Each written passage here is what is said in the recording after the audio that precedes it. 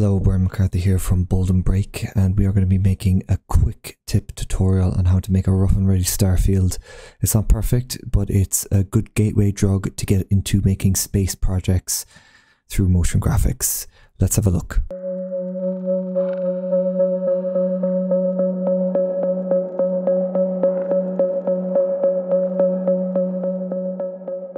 So let's get started. Create a new composition. Call this Starfield base 4K and change make sure your setting is set at 4K. You're going to need the size of your Starfield composition be bigger than the main composition where you'll be bringing in later. And you'll see why because we want to be able to animate and scale up that star field so in our base 4k layer create a new solid call this layer 1 we want to add fractal noise to this uh, change the fractal type to string and change the noise type to spline. Nothing's happening just yet. We need to play with these values until we get something that is more resemblant of our star field bring down your transform menu and set the scale to about 5 what that is doing is it's using the fractal type we've created, that pattern, and it's scaling it down and mushing it. And this is quite uniform at the moment. So we want to kind of pull this apart, do that, drop down your sub settings and put your influence to about 400. And you can start to see this star field emerge here. Make sure perspective offset is ticked, just in case you, you want to go back and you want to make some settings to uh, the perspective of the fractal noise effect that you're using. Duplicate your layer one, rename the bottom layer to just you know, to two there, and change the blending mode to add. We want to change the opacity to do that, press T, and bring this down to about 50. Now, we've done this so that our top layer is sitting over it with some opacity, and we want to add some variance to our scene. To do this, we need to play with the contrast in layer 2. Let's bring that up. That's looking good so far. Maybe bring it back down to 400. And you'll start to see some stars are look like they're further away. And you got start to get these clusters, which is quite nice. You can even play with the scale a little bit. But for now, let's leave it. And rotation. So you can really add some variance by toying with these settings. Now, we want to make a new composition, but we want to make this composition smaller than 4K. And make sure that is at HD. Go back to your 4K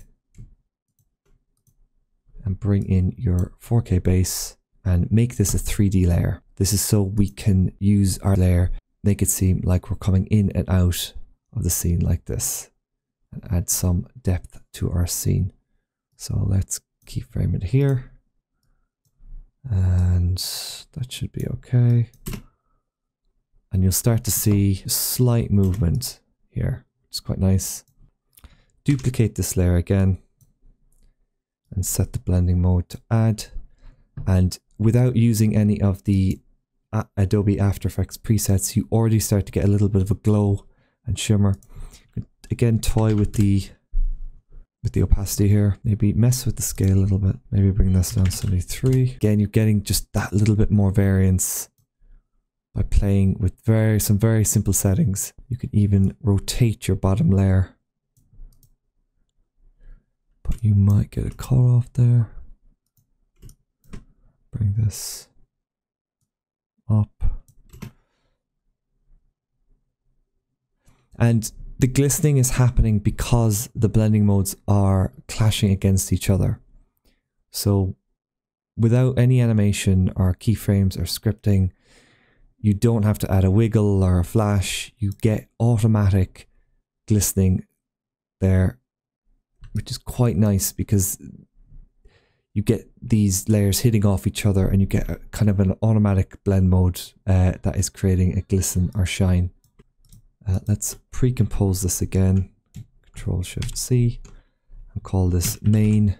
And so then we kind of have a really good base to play with uh, and go from here. So what we're going to do, create an adjustment layer. Control Alt Y. Uh, rename this adjustment layer to post effects.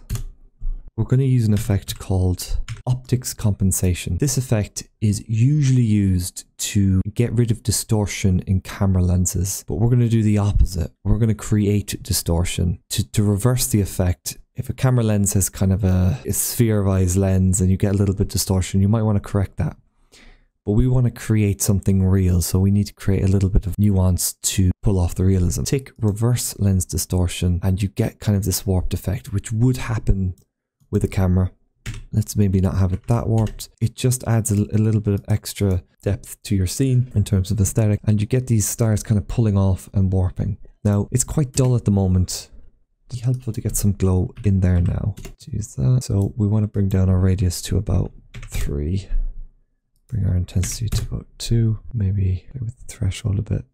And the nice thing about gl adding glow to this is, again, you, you get just more variance to your scene.